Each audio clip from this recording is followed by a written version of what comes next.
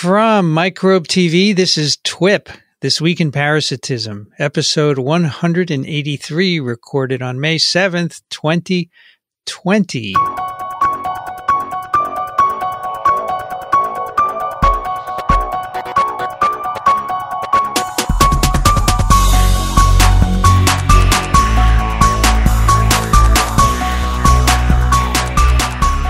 Vincent Racaniello, and joining me today from Fort Lee, New Jersey, Dickson Despommier. Hello there, Vincent. And how are you holding up?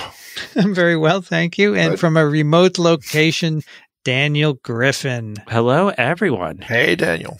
which is not a parking lot, right, Daniel? No, no, I've created this little area to record, and I have this wallpaper that make it makes it look like I have a stone wall behind me. So I'm Right. sort of ashamed that we can't, you know, we can't be on video here. You, s- I we- saw that the other day when you gave your Columbia talk, that little faux, faux stone wall. Could you tell it was faux? you know, all of the uh, announcers on the NPR uh, evening news broadcast from their home, of course, and uh, every one of them has a different kind of bookshelf, and it's fun to try to read the sides of the books and see what they've been reading. We can have next time we can have video. I'll use a different recorder and uh, we can do we can look at each other. I That'd that? be good. I, I wouldn't do that because then not only would we. no, Dickson has very slow internet. so if you tried to send video, you know, it would just. That's right. The internet's as fast as I am. All right, this is actually TWIP, This is true. which uh, means we have a case from before. Daniel, remind us what that was about. We we do. Um, so to remind everyone who is tuning back in and to uh, present this to folks that are tuning in for the first time, uh, last time on uh, TWIP 182, we discussed the case of a 60 year old female who uh, came to see me in in the clinic. This is uh, before we switched to virtual visits, and she came in with her husband. The husband was apologizing the whole time for you know wasting my time. Um, and uh, the woman told the story that she had grown up in Lima, Peru, which I enjoy because I've spent time there. Um, and uh, she relates that she was having an issue. Um, and she said, you know, I had this issue when I was a child. I would get this itchiness around my anus, and my mother would have me eat uh, pumpkin seeds. Um, now I'm having this issue again. Every two to three weeks, I'm waking up with this severe itching in that same area. And uh, what she actually did is she took a Q-tip, she extracted something, and she actually has a video of this on her phone. Uh, just by the way, anyone who comes and sees me, I much prefer watching the video. You don't need to bring it in. Um, she saw uh, she she saw another physician, um, showed them the video. Uh, she had stool ova and parasites done. Uh, she had stool cultures. Everything was negative. They didn't know what was going on. Um, and then she actually um, came to see me. Um, I went through a bit of my review, right? She didn't have any past medical history, no past surgeries, no allergies. Uh, she wasn't taking any medications. Um, she actually has quite a bit of travel. Interesting enough, um, she and her husband mainly travel to and from Uganda. Again, an interesting connection um, where they do um, a lot of um, philanthropic type work there. She's HIV negative, no toxic habits. Um, husband says he's fine.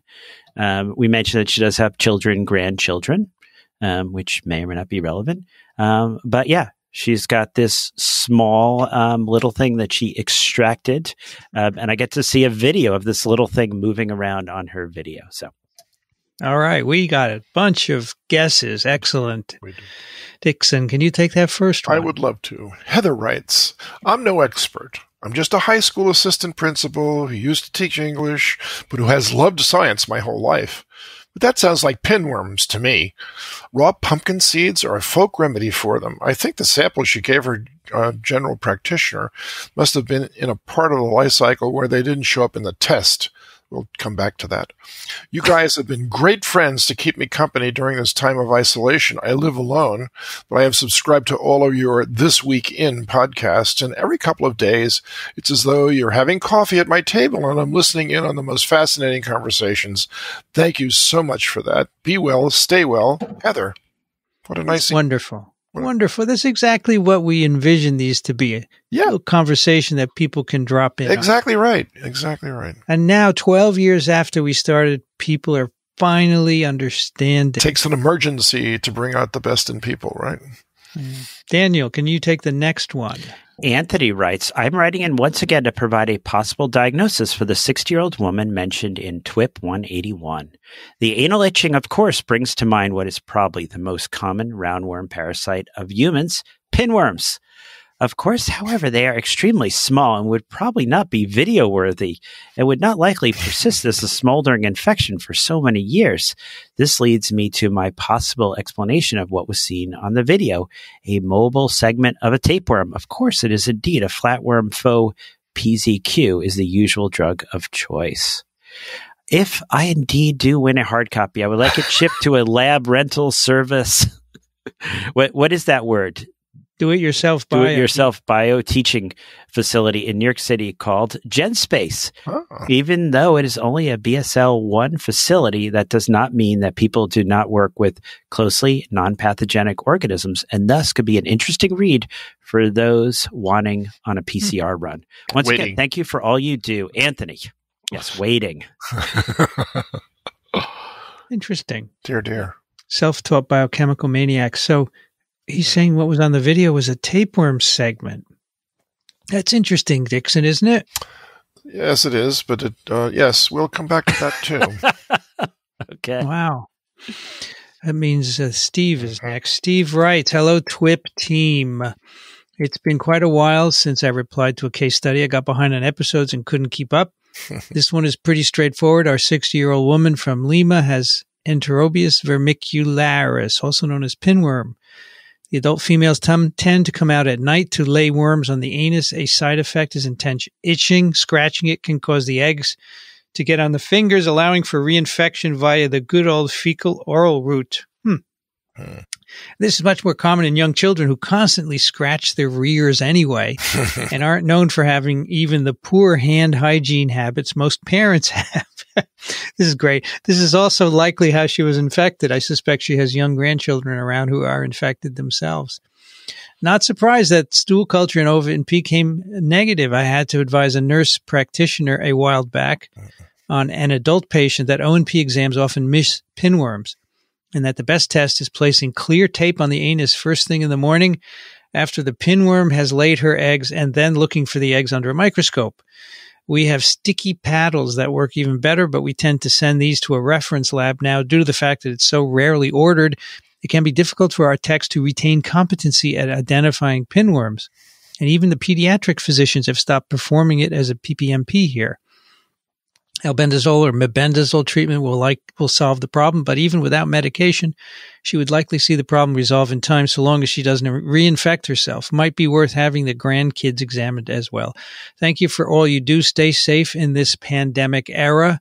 Steve in the Eastern Sierra. Right. I, sh- I, should probably uh, translate PPMP. Yeah, would you please? Yeah, the provider provider performed microscopy procedure.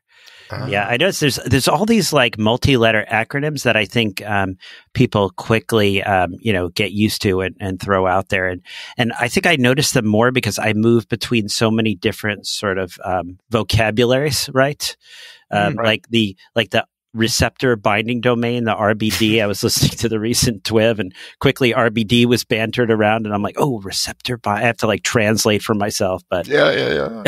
I, so. I don't even bother anymore. you just mix it all up. No, I right, wait for you. I wait for you because I know you know the answers. Dickson, can you take the next writes, one? Dear TWIP trifecta, here I am, a blast from the surely forgotten past, writing to you.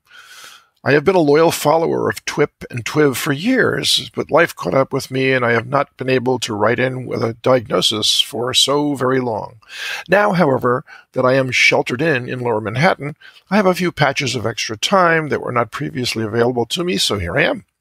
It is 61 degrees Fahrenheit, 16 degrees centigrade, and pouring today. I think that Dr. Griffin's patient has returned from her travels with a pinworm infection, enterobiasis. Back from her travels to Kenya, actually it was Uganda as I recall, she recalls quite vividly having the same nighttime anal itching that she now as a child had in Peru and mentions that her mother gave her pumpkin seeds to cure it. Pumpkin seeds are apparently a home remedy for several types of gastrointestinal worms in addition to pinworm. They've been used in an attempt to get rid of tapeworms.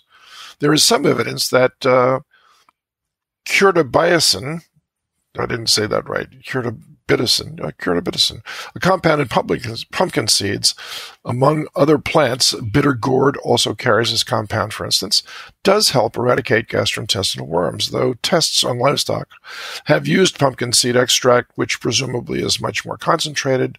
That would be, uh, that, then that, I'll try this again is much more concentrated than what could be obtained by eating normal human amounts of pumpkin seeds.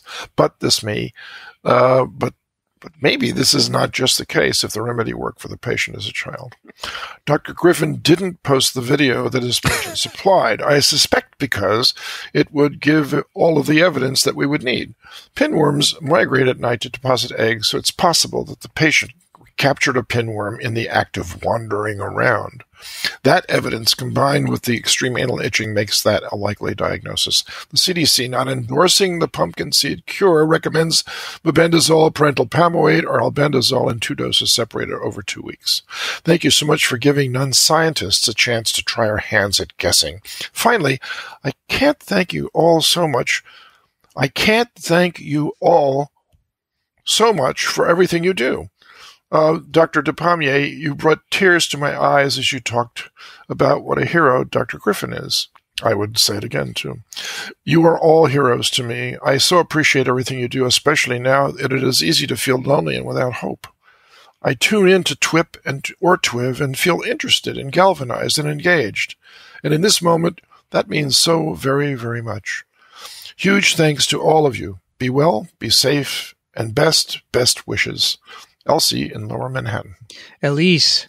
Uh, Elise, sorry, Elise. My reading uh, skills uh, have not so, been honed recently. Elise, I remember you very well because you used to write in all the time. And in fact, from time to time, I wonder okay. where is Elise? Okay. And here she is. She She's safe. She's safe. Not forgotten, Elise. No. Daniel, Adil writes, Dear doctors, it is currently a cloudy 42 degrees 6C in Cleveland. I hope you are doing relatively well in the midst of the current situation. One silver lining of which has been the ability to listen in a timely enough manner to start responding to cases again.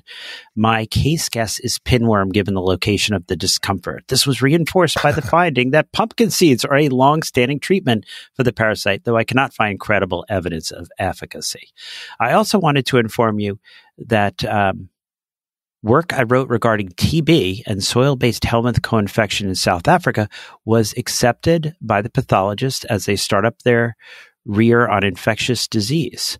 Thank you both for the wonderful family of podcasts and for motivating me. I already have both a copy of Parasitic Diseases and Red Mother. So I hope someone else could experience the joy I already have. My best as always. Great. Case Western Reserve School of Medicine. Yes. Look at that, MD candidate 2021. American Medical Student Association Global Health Leader also. That's very important. Is that right? Yeah. Well, if Good you man. say so, Dickson. Yep. If you say so, let's see. I got. I forgot to. I, I, I stopped numbering. I got to go back next. and put some. No, I'm. You're not next. I'm, I'm next. next. Okay. No, Dickson. I am. Now. I'm keeping track, but I have to put some numbers in. All right. Trudy writes. Dear Twippers, I may be fairly proficient in virology, but when it comes to parasitism, I really know only one thing pinworm. Best regards, Trudy. I already own a copy of PD. Excellent. We know Trudy. She's. Wait a minute. If she owns a copy of parasitic diseases, she must know no more than just one thing. I think she has kids, and that's why she knows uh um, Petrudy has been on Twiv, Dickson, but you wouldn't remember. I guess I wouldn't. I'm too old to remember things like that. Daniel, you're next. Oh no, Dickson is wait next. a minute. Wait a minute. Wait a My minute. apologies. That's My okay. Apologies. Adam writes, "Hello, fellow eukaryotes. I'm writing in to TWIP for the first time for the episode 182 case study. When I heard the anal itching, I immediately thought pinworm, Enterobius vermicularis. That was further confirmed by the negative O&P and Q-tip results since enterobius doesn't come out in stool. Clever. She probably picked it up from her grandchildren in the U.S. The travel to Uganda is a red herring. In fact, it seems pinworms may be less prevalent among Ugandan school children than among U.S. school children. I attached a 2001 article, Epidemiology of Intestinal Helminth Infections Among School Children in Southern Uganda, which reports 1.7% prevalence, 35 cases out of 200 2,004 children. Wow. Similar studies in California in the 80s found 7 to 43% prevalence among schools. I wonder if it's possible that pinworm prevalence is lower in Uganda due to competition from the number numerous other helminths listed, though I don't recall any of them specifically competing for resources in the anal plus perianal region. I also want to echo Dickson's praise for Daniel on the last episode. I'm amazed that you managed to get in another great episode of TWIP along with all the work you're doing on treating COVID patients and your interviews on TWIV. Best, Adam. Okay, Daniel. Josh writes, Hi, TWIP hosts. I believe Dr. Griffin's patient has enterobiasis, commonly known as pinworm infection. What led me to this assumption is that she was suffering from pruritus ani, or itching sensation around the anus occurring nocturnally, a characteristic symptom of enterobius vermicularis infection, whereby the gravid females lay their eggs around the perianal area during the night, subsequently leading to the itchy sensations. Why this occurs nocturnally is believed to be triggered by the host's drop in body temperature during sleep. Another important clue was that her ONP stool and stool culture culture came back negative. This is likely due to how quickly the eggs hatch and the larvae may crawl back into the anus, retroinfection. Therefore, in order to obtain the eggs or diagnosis, a clear adhesive tape should be applied to the perianal area in the early hours of the morning before a stool has been made. Finally, Dickson's emphasis on whether she had grandchildren also gave it away, as this is a common infection among young children and institutionalized people, daycares. I believe the video is most likely going to be an extract of a female adult female, 8 to 13 millimeters long. Which is interesting is that her husband isn't complaining of the same symptoms, but the bedding is most likely harboring the infective eggs can last up to two to three weeks on inanimate objects or be inhaled as they can go airborne. I hope I'm right. P.S. It's a sunny, windless 24C afternoon from Cape Town, South Africa. Uh, yeah. Looking forward to more TWIP and TWIMS. I know this isn't TWIV, but here's a recent paper from Nature that sparked my interest and maybe yours. And it's entitled Dynamic Genome Evolution and Complex Viruscell Metabolism of Globally Distributed Giant Viruses. Oh, this wow. paper left me wondering could there be viruses that are inserting genes, beneficial or detrimental, into our potential offspring's genomes by targeting our germ cell precursors or cells of spermatogenesis or oogenesis? Mm. Kind regards, Josh Aaron, um, and he's a microbiology student. Nice. Very interesting paper. Hmm. We may have to do this on uh, TWIV. Although, you know, viruses are parasites, right, Dickson? Absolutely. James writes, I'm going to guess that she had some grandkids or foster kids or kids in an orphanage she supports or something similar that also have itchy butts. The classic one would be pinworms, and Enterobius vermicularis, very common in U.S. and elsewhere. Pumpkin seeds are a home remedy, but I could not find quickly, since I'm in the midst of teaching microbiology to med students, anything up to date. I considered very briefly Schistosoma mansoni, which could get into the colon, but don't really know if it causes pruritus anus. Pruritus ani. I did find a brief mention of a perianal rash with schisto. This might be sucking up a bit, but trichinosis can cause pruritus. and since I attended Duke Medical School, sucking up was a valuable survival skill. Actually, um, the uh, hookworms suck up much nicer. Uh, not sure how I avoided pinworms with three daughters and four grandsons. Wow, I got Giardia from my oldest daughter, who got it at a Girl Scout camp in the mountains near Las Vegas, of all places. As always, what is the differential diagnosis? Roids, probably one. Ask any woman who has had delivered any babies vaginally. Fissures could do it. I found that some spicy food could do it. I ate some five alarm eggplant dish in India when I was 18. I don't know if it was chemical or E. coli, but man, did I get the trots. And I had anodynia. Just made that word up, but it sounds good, doesn't it? Also looks like chronic wetness or post antibiotics. Candida, almost a parasite, right? Yeah, count it as a parasite. And it has a nucleus. That's true. So TWIP on and draw my number. Jim. Hmm. Hello, TWIP. I'm Dan from Connecticut, quarantine at home due to Corona. I've listened to TWIV once in a while before, but I'm using the time now to work through the other podcasts. Thanks to the whole team for putting together such interesting content. My guess is Enterobius vermicularis, the human pinworm. This little bugger seems to match the description closely. And Dickson's question about children, grandchildren supports this, since school age children are those most affected. Treatment is two doses of the microtubule depolymerizing special mebendazole or albendazole or pyrantel pamoate given two weeks apart. Anyways, I'm no doctor, but that's my guess. Thanks again, Twipsters. I've learned so much from the show. Cool. Okay, Daniel. Andrew, right? Andrew writes Kia ora from Ah. Pongaroa. No book one yet. I'm hoping for a fluke. Shout out to Dickson, Twiv 603. Weather, the Pongaroa drought has broken, and today there's a strong wind, clear skies, and a temperature of 19 C. COVID 19, today is the first day of the relaxation of our strict shelter in place measures. And apart from some businesses being able to start again, um, if they can provide contactless delivery like pizzas live, um, will be much the same as it has for the last five weeks. Everyone's staying within bubbles of households and or essential workers and avoiding other people and keeping two meter distance at any encounter. Our active case tally is 270, down from 929, and daily new cases are in the single digits, mostly Kiwis nursing returning home. Uh, testing and tracing have resulted in an R not estimated to be 0.5 or lower. Our Prime Minister Jacinda Ardern is keeping the country in strict isolation, with only New Zealanders being able to enter. And she has a staged and gradual plan to return us to whatever the new normal will be like. Hopefully, a few weeks away. She has the strong support of 86% of the country, where we are rather proud. It should be. My guess pinworm, Enterobius, says follicularis. I think he was joking. I, I, think Daniel is being tricky here, including a couple of red herrings to lead us off the track. The lady's age and the travel to Uganda can be seen as less important than the facts that our parasite can happily stay on the end of a Q-tip and that a video was taken means it was um, most probably motile.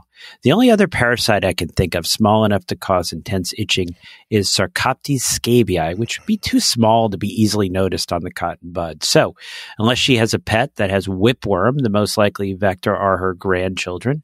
Incidentally, I grow pumpkins, and my neighbor constantly asks me to give her any spare pumpkin seeds to deworm her chickens. Another good Eh. clue. Kakit uh, ah, ah. See you again. Kakite ano. Kakite on. Okay. Dickson. Yes, Samantha writes Hello, TWIP hosts. I would normally be writing from the beaches of, I mean, the medical school library in Miami, but alas, I am writing from Nevada, where I am currently studying from home with my family. Thank you for all you do in terms of scientific communication during this time and all other times too. My guest for this week's case is Enterobius vermicularis, also known as pinworm. The anal pruritus and finding of the adult female during her nighttime migration down from the colon or rectus to the perianal skin to lay her eggs is indicative of this pesky worm. She likely picked up the eggs from her grandchildren who may have had the infection, scratched their butts, then deposited the eggs on objects, people, and toys in the room, but by not washing their hands as kids do or do not.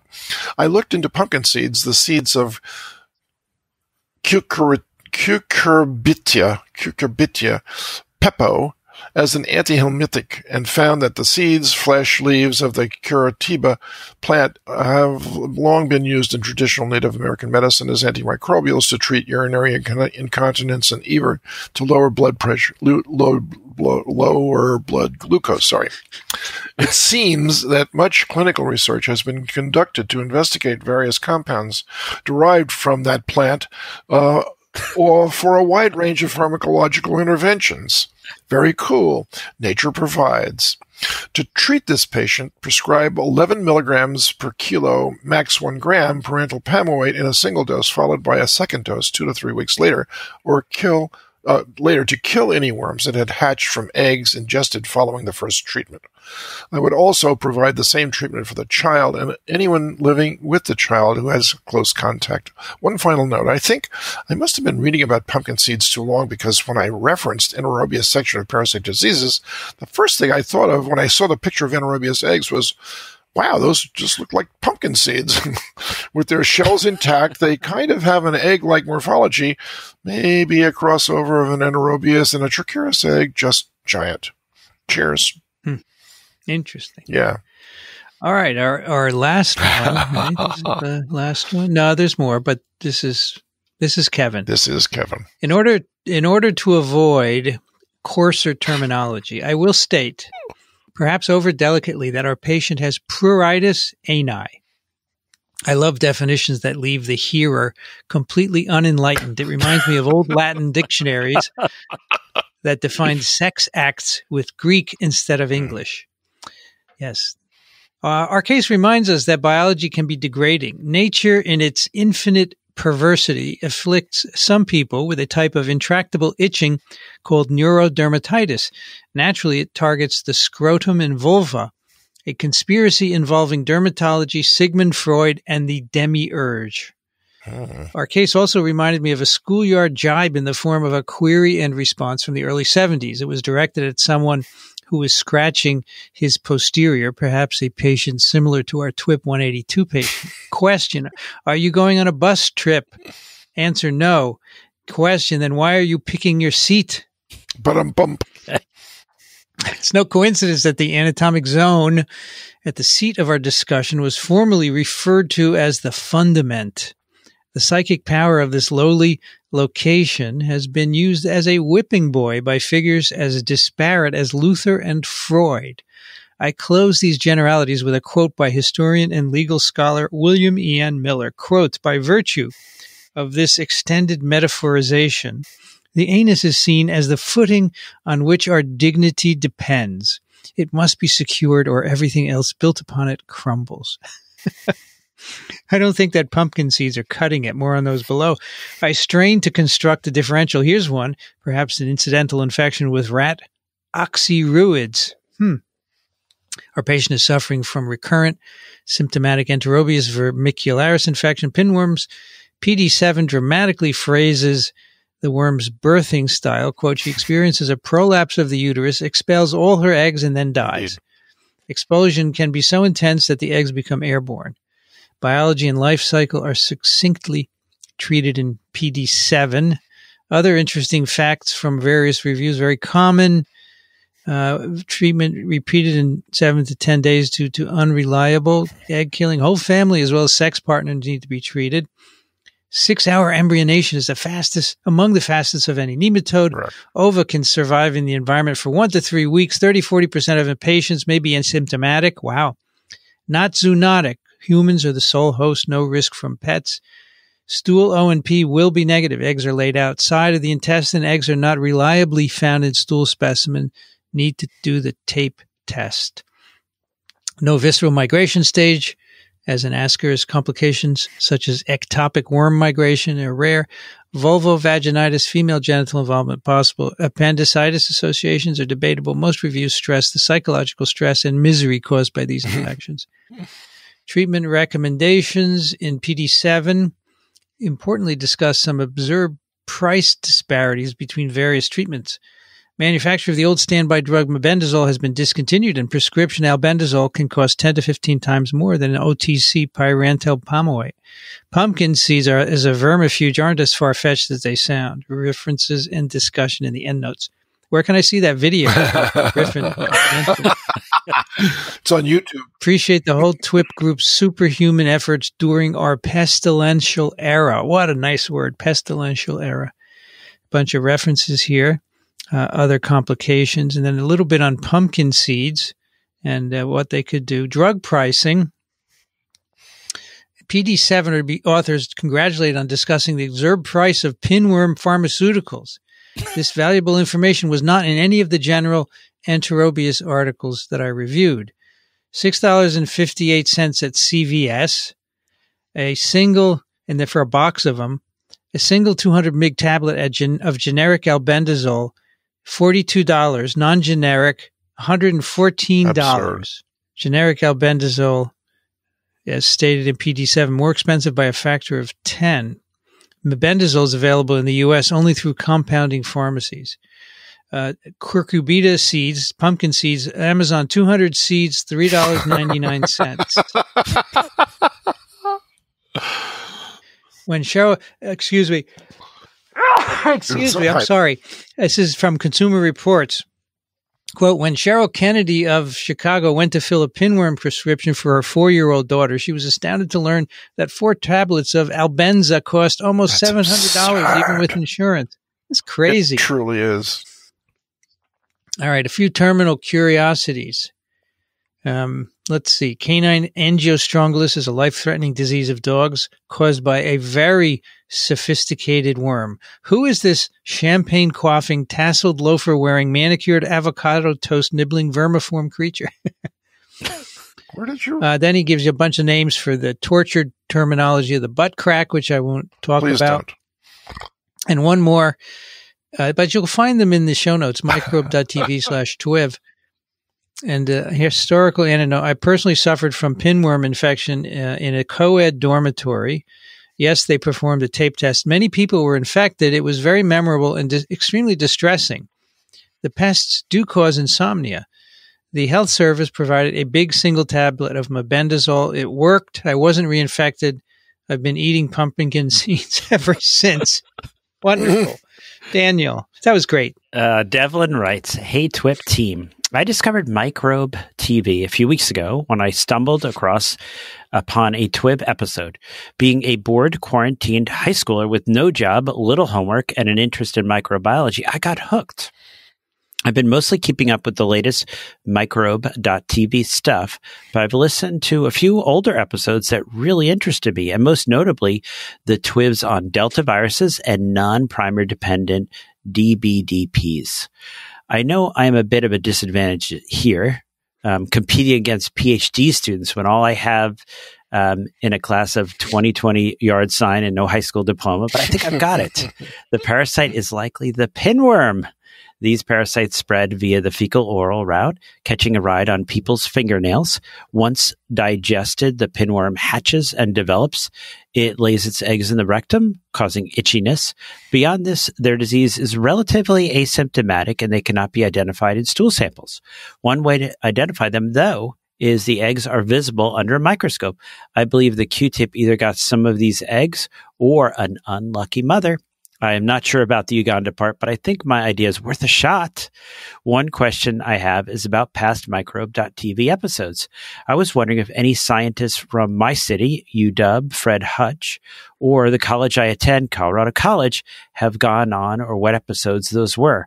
I've heard the host talk about Harmit Malik a few times, and I was actually able to interview him a few years ago for a school project about migrants. Another episode I would be curious to listen to is one about bacteriophages epidemiology. I know it's a very specific topic interest, but I feel like it would be something very interesting to listen to. Best wishes, and thanks for all the podcasts, Devlin. Cool. Yeah, we have had people from the Hutch, uh, Michael Emerman and Harmit have been on, not from Colorado College, but um, Devlin, you can Google that. You just Google TWIV and, you know, Michael Emerman, you'll get it. You can do that since you've discovered these things. I'm sure you can do it. Hmm. All right. Um. Cecilia writes. Dear doctors, I will be brief because I'm sure you will get plenty of responses for this case study. I believe the 60 year old female patient is infected with Enterobius vermicularis. According to PD7, it is the most prevalent nematode infection. The patient's ova and parasite studies would be negative because the eggs are laid at night in the perianum by the gravid female when she migrates out of the anus. These eggs can be seen on a scotch tape prep or a pinworm paddle. The specimen must be collected early in the morning before the patient gets out of bed and goes to the bathroom. The patient was probably able to collect some of the worms inside the anus with a Q-tip. I hope you all remain safe. Sincerely, Cecilia. Last one. Skylar writes Good morning. I hope you continue to be well. No book last time, but at least my first ever guess was right. Thank you for clarifying about human versus canine scabies, since both diseases are called scabies, and vets always told me it was contagious. I just assumed it was the same mite. This served as a reminder that it is dangerous to assume. Excellent conclusion. My guess for the six year old female from Peru is pinworm. If something visible can be extracted from the anus, and it is neither a human inserted foreign object nor so called ropeworms, sloughed off intestinal lining due to a consumption of a consumer activated bleach known as MMS, then it is most likely a worm. I found a paper looking at the toxicity of pumpkin seeds as they are apparently a folk remedy for stomach pain inflammation, fever, and, and most relevant, worms. Intense perianal itching combined with negative stool samples suggest pinworm. According to the CDC, pinworms exist worldwide, so I won't try to guess whether she got this from Uganda, Peru, or the good old USA. Tape test to confirm. Check the grandchildren. Wishing you the best. Thank you again for this wonderful podcast and for all the work you continue to do. I pray for your safety and urge all listeners to stay home, even if they live in a state that has opened up unless mandated to work. Stay safe. And there you go. Got it. But wonderful. 14 guesses. Terrific. Actually, 15. Kevin already got a book, so I left Right. him out. all right. What's up, Daniel? Um, well, do we give away a book Yes. now, right? Well, first we uh, we hear your uh, resolution of this. Oh, you guys, you guys know what it is. You know, we haven't got a clue. you know, you I know, see we- the video, damn it. shall we? Shall we let you you guess first, Vincent? What What are you thinking? Yeah, I, I thought that since you had the itching and, and pulled something out that wriggled, it must be a pinworm. But this guy with the tapeworm segment is very is very interesting, and I want one of you two parasitologists to address it. Yeah, Dickson, you want to like? Why is it? Why is that person not right? That person isn't right because A, it's gigantic. I mean, a segment of a tapeworm would be visible without a Q-tip or anything else, and they crawl out on their own, by the way. But there's no itching. Okay, there's no symptom associated with it, so uh, it would be unlikely that that's what she found. Uh, Why do the pinworms cause itching? because of the uh, when they disintegrate after the female has a prolapse of her uterus, she re- she uh, gives off all of her body fluids to the perianal region, and repeated Yeah. exposure to those proteins ex- ex- uh, elicits a, a uh, allergic response, which uh, is followed by itching, and uh, that sort of facilitates the reacquisition of the infection. So there's a biological uh, loop that might be closed with that. Got it. I wonder if there's a protease involved. Uh, in what? I'm sure they have proteases, but I'm not sure that they use them to lay their eggs. No, I'm just making a I'm making a reference to our paper, Dickson, but you didn't I pick didn't. it up. That's okay. I don't know what- yeah, and it's actually I think it's an important part of the biology. It's a selected w- because of the itching um, that actually helps with the life Yeah, cycle. yeah, should this be that's right. pinworm? Which, yeah, it is. um, oh wow, we got it right. I think ju- just about just about That was a tough one. it right. Uh, yeah, and it is interesting because um, you know the symptom, the story is very compelling. Um, th- this is really like you know when she comes in and, and the husband is apologizing, and she tells me the story. You know, even down to the pumpkin seeds. I was, oh, this is great. And then you know she pulls out the video, and these um, the the adult females are about a Yeah, they're centimeter. visible. I mean, they're they're visible. yeah, they're visible to the Sure. naked eye, so very easy to catch on a um, on a iPhone um, video. Right.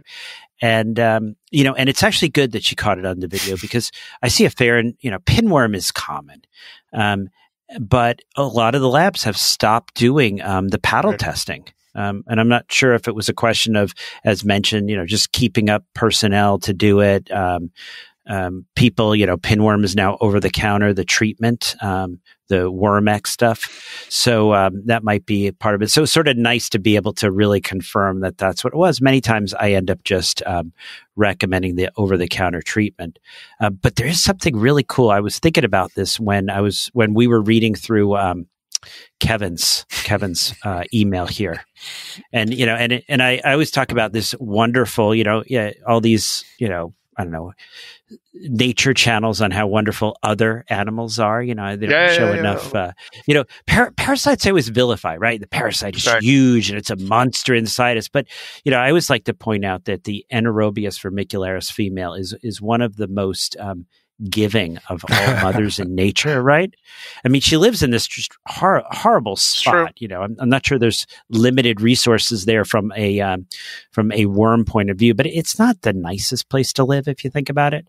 Um, and then she she's tiny, and so when she wants to, you know, basically give her children uh, an opportunity, she's got to migrate. And for her, this is really far. I mean, these are these tiny little delicate females, so she's got to migrate all the way up. And then she she doesn't just give birth; she actually goes through this act where she everts, she prolapses her uterus, and all these eggs fly out, and then and then she dies. You know, it's sort of um, it's just beautiful um, visual if you think about this. But one of the things that also I thought was really interesting is what size is a pinworm egg? And this is this is you know 60 micrometers. Yeah, so it's about five microns. And Hmm. in the in the world of COVID nineteen, what is something magic? That's what bigger than that. It's magical about Daniel, Daniel, five? it's bigger than that. Those are the droplets that spread SARS-CoV-2. That's why these can become airborne because Eh, these are right about you know That's fif- right. yeah these are right about you know so yeah no they're no they're a little bigger They are a little bigger. a little bigger. they are they are 10 times they are too 10 big. times too big. So, That's right. yeah so i so i will so i will say that they're not truly airborne right?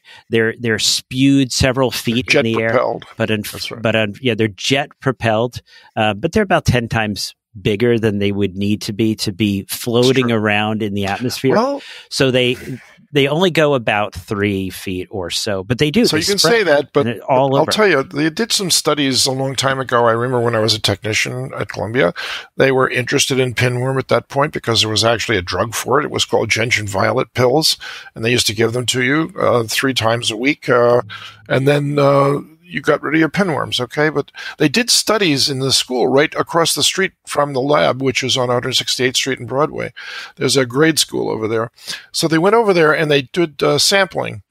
They sampled the floors, the windowsills, the uh, bookshelves, everything, and everywhere they found pinworm eggs. They were all over the place.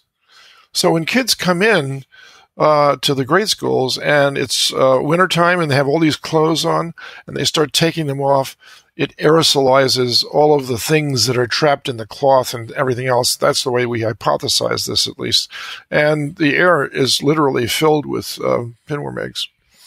So they they're light and airy and fluffy, it's just like sort of like a little cloud that uh, drifts off into the environment and uh, can be found quite a ways away from where they're actually uh, ejected from.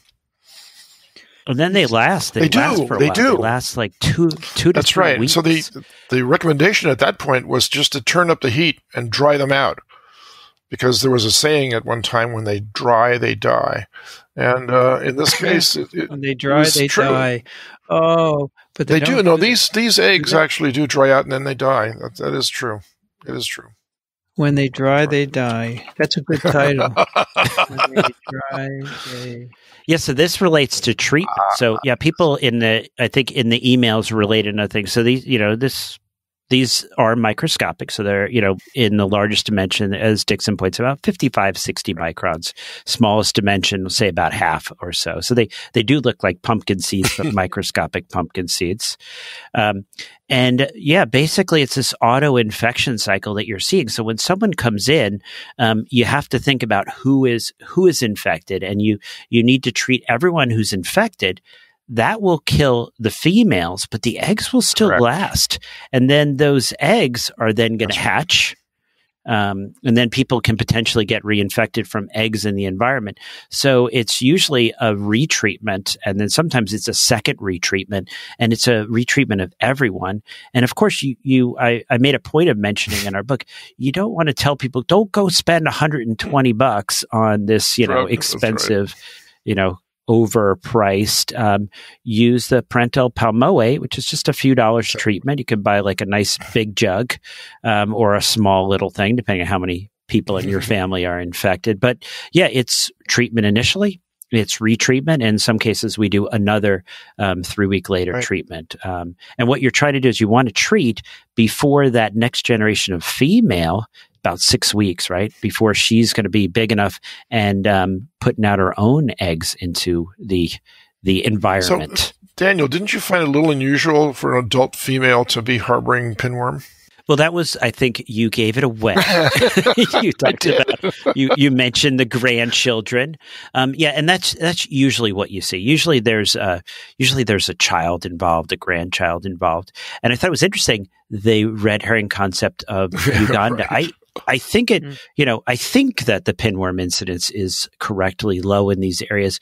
Part of it might be the fact that they tend to have a lot of deworming um, Mhm. campaigns.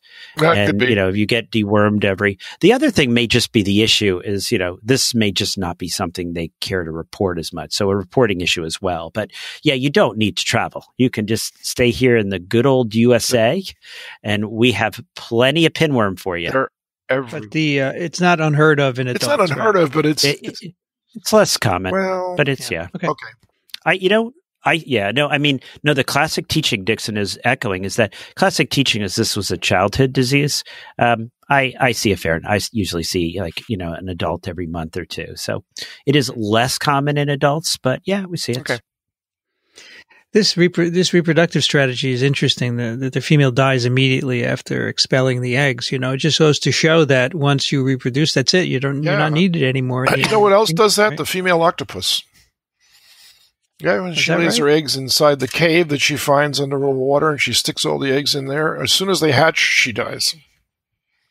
How how old do they become? Uh, It's about these- these four or five years old before they achieve uh, reproductive I age. I think some of the some of the big ones, like the giant octopus in the Pacific Northwest, uh, lives a longer time.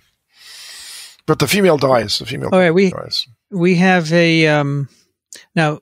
In what cases do males die after every mating? all the Black time. widows, right? I, that's what I used to say to the class. I said uh, uh, when the when mating occurs in the small intestine, let's say for hookworm or for ascaris or for trichinella, the female goes on to Mhm. reproduce and the male passes out, just like us. Interesting. And But nobody Dickson, laughed. Black Nobody Widow laughed at that. he- But I, Yeah, because that's a horribly out of date Uh, joke. you know what? Dickson. Yes. I'm I am horribly out of date. So that's the way it Dickson, goes. Dickson, don't don't the black widow male get get eaten after Not- not if they're careful. reproduction? They have to be very. I'm not. I'm not kidding. Taran- Never mind. Why why ask Dickson questions? He's not serious. spiders. No, no, spiders have this habit of eating their mates, and you're right. Uh, I've seen a lot of nature shows recently. I saw one about tarantulas, and tarantulas, the females can sometimes eat the males also. So All right, I'm going to generate a random number between one and fourteen to see who gets this book. The number is all 11. right. let's see who's Right. eleven. That is Samantha from Nevada. Nice. Winner. Okay, Samantha, send me your, your address. Uh, twip at microbe.tv. We'll get it out when the pandemic's over Right. because I have I've got a backlog and I just can't get to them Oh, well, because pandemic. um, been doing a lot of podcasting and other things, but I think it's good. Okay, we have an interesting paper here, and Dickson, I hope you read it. This is the structure and protected. yeah, yeah, the nematode hidden uh, antigens. It's a fantastic paper, actually. I was really quite enthralled, with it. Um, it's good structural biology, and it makes a, a very interesting point, and that is that this is an enzyme complex which has a configuration to it which can't be um, cloned and then expressed as individual molecules. These have to all come as a, a package. Uh, in order, Should we should Sure. we read the should we read the title? Let's, Yeah, let's yeah, let yeah, our yeah. listeners. So so the article it's a research article in PLOS Right. Pathogens. I must say one of my favorite journals, um, and it's um, entitled "Structure of the Protective Nematode Protease Complex." HGAL-GP and its conservation across roundworm Right. And parasites. the H stands for Haemonchus Yeah. contortus, which is a sheep parasite related to hookworm. All right. What does the GAL stand for? Um, it's a opposite of guy. Um, and this this uh, first offer first author is Charlotte A. Scarff. Uh, the last author, Stephen P. Muench. Yes. Um, so we've got Rebecca Tom- Thompson, we've got George Newlands, Alexander H. Jamson, Christopher Kenaway, Vivian J. DeSalva, yep, Alita M. Rebello, and Chung Feng Song, John Trinick, and W. David Smith. Where are they from? Leeds, England. Yeah, there's a bunch of folks here from from Leeds, so a bunch of folks Okay. from the UK. Um, we've also got Scotland, um, the Moredun Research Institute in right. Scotland. Um, we've got uh, molecular biology, that's University of Leeds, more UK folks. Uh, but we've also got some people from Brazil. Hmm. The and do you want to do you want to read the Instituto de Ciencias Biológicas Universidade Federal de Minas Gerais, Belo Horizonte, Minas Gerais, Brazil. I don't know if that's pronounced Close. correctly. You're My- close. um, and then we actually have um, the lab the from uh, Hebei Medical University in uh, China. Right. And the reason why this We've is got a lot some background here to just get it in perspective. Haemonchus contortus is a major pathogen of sheep and causes huge economic uh, losses in their herds. It's a blood-sucking parasite. It lives in the small. It lives in the stomach, the true stomach, the abomasum, which is the true stomach. There are three chambers to the stomachs of uh, ruminants, but this lives in the uh, in the uh, middle uh, one, I believe, which is the abomasum and it's it's it's becoming resistant to antihelmintics. And uh, I didn't go and unfortunately read the um, references to that, and I'm not sure if they're becoming resistant to ivermectin or to some of the other more commonly used antihelmintics. But these people think that what's really needed is a vaccine, and a vaccine uh, which covers um, the gambit of, of all of the strongyl parasites that infect um, uh, basically economically important cattle uh, and uh, sheep, um, cows, of course, goats. Uh, all of those animals catch this infection, and they have a lot of other kinds of infections which are similar to uh, to Haemonchus. Uh, Ostertagia is one of those that uh, I like that parasite because you never forget the name if you can remember the first Ostertagia. It's called Ostertagia ostertagi. so, um, and they all contain this complex of this galactoside, uh, galactose, right? I believe that's galactose, right? And uh, there, there's, there's a glycoprotein associated with it, but it's a complex. It's not just a, a single protein; it's a, a, a number of proteins put together. So, so cryo EM was the only way to actually see what this structure looked like, and they selected it with um, uh, a lectin, and uh, They selected it with They a did. lectin. Good. did. and in fact, I even learned there's a new lectin. I never knew there was a jackfruit lectin, but there is. And um, it's it's it was very interesting to see their progression because uh, the cloned antigens for these, or the cloned proteins rather, were totally ineffective when they gave them as a vaccination.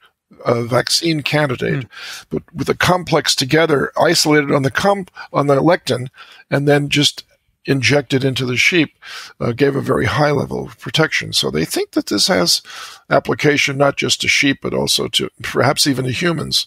They mentioned Ancylostoma caninum and Ancylostoma, uh, let's see, I blocked on the other one. Uh, well, uh, there's obviously Ancylostoma duodenale. Uh, and I'm sure that all of those parasites have similar complexes, which they use to digest hemoglobin.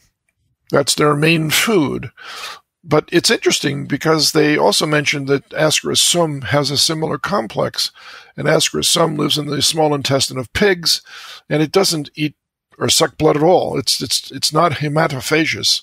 It eats what you eat, and yet it has this complex. So it must have uh, a more generalized uh, function in other parasites, but it's been kept throughout evolution as a very useful protein to. Or series of proteins to to apply to their own biology. So this group thinks it's a prime target for um, vaccine development. So this is a protease Yes. essentially that's digesting That's correct. nutrients, right? And the interesting thing, it's Right, it's on the microvilli of the small intestine. Exactly. So the stuff is coming in, it's digesting into small bits, and those are passing into the cell in some That's way, right. right? And this is a large It's complex, very large. isn't it? Yeah, it, it almost looks like um, the remnant of a gigantic shark. you know, you're looking in the mouth of the shark, and you can almost see the teeth on either side of it. Um, but of course, it's not. It says here this the structure provides the first evidence for how worms can efficiently tether the enzymes required for host meal degradation without triggering a host immune response. Yeah, because it's not soluble, It's right? It's uh, membrane bound. Interesting. Yeah, many proteases, of course, are soluble. Yeah, but we have some in our intestinal tract that are membrane bound, though, don't we? Well, I'll tell you, Dickson, to make it really relevant, relevant. there's a protein called dipeptidyl Uh-huh. peptidase, which is a surface protease in the Uh-huh. intestine and other places. It happens to be the receptor for MERS Get coronavirus. Get out. Small world. What's the receptor for SARS CoV 2? It's a ACE2. The um, AT2, angiotensin ACE2 angiotensin converting enzyme, another enzyme, a membrane bound enzyme, which is substrate is angiotensin, right? Very interesting that these viruses have have uh, migrated to to membrane bound enzymes. It's a little odd, So, isn't yes, it? Because they should be digested, but they're not, obviously. So there may be a virus of I'm sure is. and if so, maybe some of them bound, bind to this uh, digestive com- complex. Who knows? Maybe the virus helps to get uncoated by it. All sorts of miracles are Exactly. possible. Huh. Anyway, the protease joke I made earlier is still relevant. That's right. So it's Okay. But I thought it was I thought it was interesting here because what you know this is sort of feeding into what people are starting to talk about this concept here about this you know unified hidden antigen Yeah, vaccine. right, They they want to right. basically make a pan strongylid roundworm Correct. vaccine. And the interesting thing is they're saying is a lot of um, we'll say pathogens have um, evolved uh, strategies or have evolved in such a way that there is not an effective immune response. Yeah. Um, so what you need to figure out, you know, what they're suggesting here through this approach is you can figure out a way to target a Mhm. hidden um, antigen, and then that potentially is going to help Right. you. So Daniel, did you just make a little joke when you said feeds into? arg. I try. It- try. It, it, reminds me of the same um, philosophy that the people trying to develop a, a vaccine, a universal vaccine for influenza, they're not looking at the uh, the uh, sialic acid or the uh, hemagglutinin uh, antigens anymore, right? They're looking at some structural protein that they all share in common. Or, or often they're looking at down at the Yeah, yeah, like a hidden part of the That's right, that's right, that's Uh, right. Yeah. So All right, Yes. Dick Dickson, very interesting. Do you have a, a hero? F- um, not a hero. No, I have a yes, hero. a hero. I do have a hero. Now, last week, last time got? we talked, I picked um, our fellow uh, Twiver, a Twipper, um, Daniel, obviously, and you still are my hero, by the way. I must tell you. But there was another hero that has emerged in the popular domain of uh, the COVID uh, 12, uh, 19 epidemic, and that's Tony Fauci, and he he gets my vote for hero of the year. In fact, uh, the way he is able to with with withstand the uh, onslaught of ignorance and with a straight face try to make sense out of what has just been said, but place it in context with, with what is correct.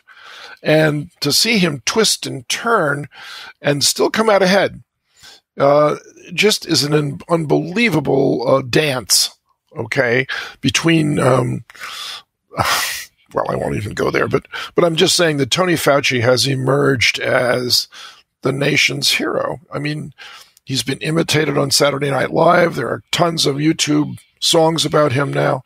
He's an American, not a folk hero. He's uh, he's the best there is of science uh, and the public, and I think he does a great job of communicating science. And I, I think that uh, we've had him on our uh, Twiv show, right? He was on Twiv 300, as I recall. He was on Twiv 219. 219. I'm sorry, 219. But close. Three, 300 was, uh, Is that um, I don't. I think we did that one at ASM. Four hundred Right, was Harold right, Varmus. right, right. That's what you're thinking. It must have been. Um, well, we can go back and look it up, but, it, but Tony Fauci still is um, the person who, if he says it's okay to go back outside, I'll do it. Otherwise, I'm going to stay put until Okay. it's safe. I agree. He's a hero, and I, you know, he was born and right, raised in Brooklyn, guy. and his his parents owned Fauci Pharmacy. That's great. His father was a Columbia University trained pharmacist. Oh, he yeah. went to uh, Holy Cross, then he went to Cornell University Medical school, College. Finished first in his class. Wow. He has served under every Yes. president since Ronald Reagan. He says uh, in He has been head of uh, one of his NIAID, interviews yeah. uh, recently, he says that he he no longer jogs, but he likes to do power walks with his wife at night when nobody's looking, because he he wants to keep a safe distance from everybody. So he goes out at night when everybody's back home. Yeah, it's a great pick, Dickson. Very good. Yeah, I was gonna. I'll, I'll throw in a personal connection with Please. Fauci. So, um, my mother. I don't know if people know this about my history, but um, when I was in high school, uh, we actually lived in the West Village during the early '80s, during sort of the early days before you know the virus that caused uh, HIV and AIDS was identified. And uh, you know, we lived down in these various like art artist co-ops. Actually, my mother's a painter, and um, when it hit our community, when HIV, the virus hit our community in Greenwich Village, um, there was a group of activists, our, our neighbors, who um, got together. Um, they formed a group. Um, Anthony Fauci was Oh, part wow. of this group. Um, and my mother was part of this group. Um, so it's always entertaining to see my mother when, you know, she sees uh, Anthony on TV. He's done so well. and He's a good boy. but, you know, I, I, I have to say, like he he he got a lot of. I I think um, I think he's doing so well because he developed some pretty thick skin during the Yeah, eighties when he right, was that that's right, that right. pill that pill pushing guy. Right. Um, but no, he he has done He a has. tremendous amount, um, and he's been doing a tremendous amount for Plus- decades, and he's still doing. Plus, he's a lab scientist. I mean, he was involved in the lab for years before he became the director of the uh, NIAID. Uh, so he knows what it's like to get a false positive and a false negative and results that you don't trust and all kinds of other. I mean, he suffered through the whole um, uh, episode of trying to create a vaccine for HIV, which failed miserably, but uh, he still keeps on. The facts are the facts. You stick to the facts, you won't go wrong. And that's that's all he keeps saying, and he's absolutely correct. And Vincent, you keep preaching that also. I think that uh, you know, if I had to pick you as a hero, I would say that you are because you believe in science. Science is um, non-committal; it doesn't own the facts; it just reveals them, and you have to deal with those facts. And there are lots of people out there that are not willing to do that, and they're going to die from this because they're following the wrong advice. And uh, it's very sad to see how um, laissez-faire most of the governors of the states that are most affected by the economy of having to uh, distance yourself and to remain indoors. It's amazing how willing they are to sacrifice people's lives to get their own government back into function. And it's very sad to see that. And Fauci is, he didn't say it's okay. As soon as he does, that's when I'm going to go outside. I just got a notification that mo- uh, over half of the U.S. states that are reopening don't meet That's White correct. House guidelines. That is correct. And and the White House has actually backed off of a lot of what they were saying too, because they realize that that's politically, it's committing suicide basically. Because uh, five months from now, when all this hits the fan, so to speak, during the election, it's it's going to resurface, and they're going to be held accountable. And uh, hell, I want Tony Fauci as the president. Come on, let's let's put him up. All right, uh, Daniel, let's have a new Yes. case study. Oh, yes, please, COVID. please, another story. COVID. This is a this is a this is a case of a seventy year old male without COVID. Uh, so, uh, so this is a this is this is a two part one. So first we're going to talk about the the husband, and then we're going to talk about the wife. Um, so this is a 70 year old male who returns with his wife from a safari to Kruger National Park in South Africa. Um, he reports uh, that he's been suffering from, or he had two weeks of watery diarrhea. Um, you know, this is one of those things you pay a lot of money, you head to South Africa, they're going to have this wonderful safari experience. But when they arrive in South Africa, there's a severe water, water, water. Okay, I did also grow up in the New York area. There's a severe water, severe water shortage. I usually am careful with not having my accent come out, but yes, water yes, shortage. Very good, very good. As born in Queens, but even and even though it was supposed to be this fancy trip, there was limited water for washing um, and they actually were having to use hand sanitizer uh, to clean their hands. So there was an issue with the hand hygiene. And after um, about five days after they arrived, both he and his wife um, start to become ill with diarrhea. Now, his diarrhea, um, as described, watery, and now it's been about two weeks. It's persisting. He's having about a dozen um, of these watering stools per day. He feels nauseated, has abdominal cramping. Um, you know, he was given Imodium and azithromycin for his quote unquote potential traveler's diarrhea. No effect. Um, he uh, he had a stool culture. Um, he had an ova and parasite exam done. Uh, these came back negative. Uh, just to give everyone a little more information, uh, he's a healthy guy. Other than this, no past medical history, no surgical history, not allergic to anything. Nothing runs in the family except diarrhea. Okay. except diarrhea running him and his wife. Um, but now he has his stool sent off. Um, but the O&P this time, it's requested that it be done with acid fast staining. And he has one of these stool GI PCR tests ordered. Uh-huh. Okay. Um, I'm not going to tell you what those show, but this prompts treatment with trimethoprim sulfamethoxazole for seven days with following resolution of his diarrhea. Hmm. What are the what are the drugs again? Tell me. It is um, trimethoprim sulfamethoxazole, which is commonly known as Septra or Bactrim. Hmm. And I feel like this is a tr- this is a treat um, for our. Uh, uh, should I spell this? so that's uh, S U L F a M E T H O X A Z O L E. Um, I feel like this is a little bit of a treat for our regular listeners. I feel like you're going to yes. get this right. Um, and so, uh, a little, that'll be my one hint for you. I make me proud. No, no HIV AIDS, right? So no HIV AIDS. And, um, do, do they, they have no right, kids? What happened the to the wife? Gone, right? They're out of the house we're gonna we're gonna talk about her next. Oh, oh next, next, time, I see. Not yeah, this. but next time. So this is yeah, this will be part one, and when you fig when you figure out what this individual has, then we're going to talk about um, what happens to the the woman.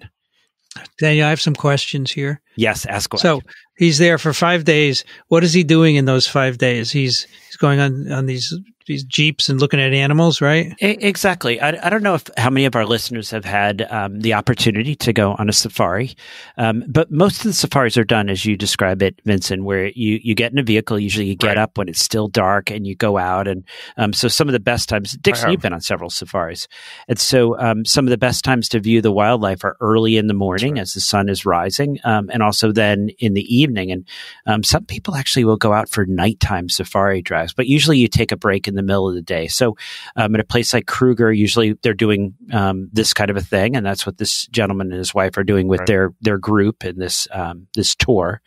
Um, but yeah, but then they're coming back, and there isn't much in the way of um, of water, so they're um, trying as best as they can to hand sanitize with the alcohol based cleaner.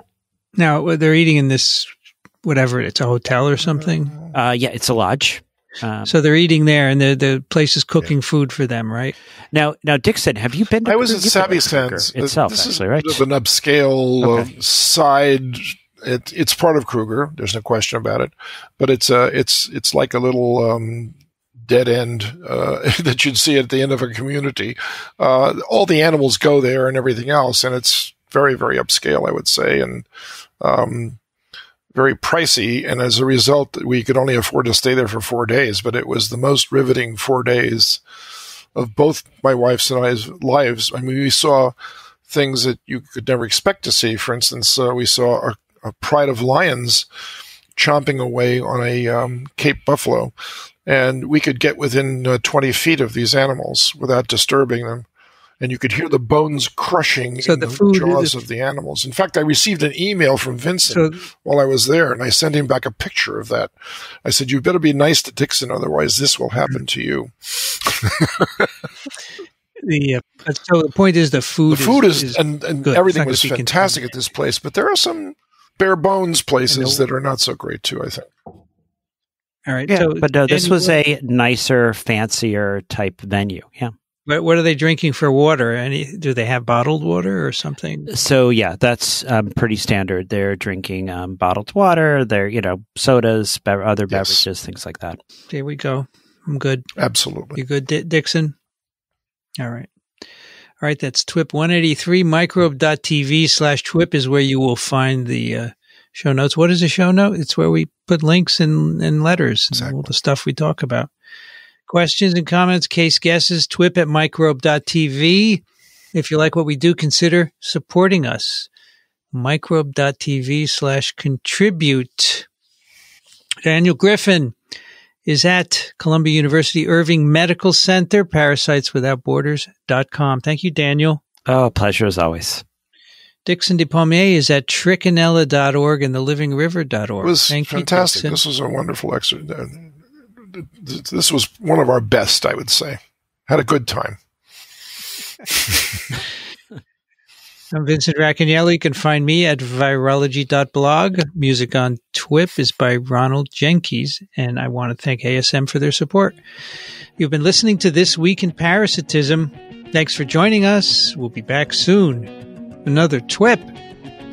It is parasitic.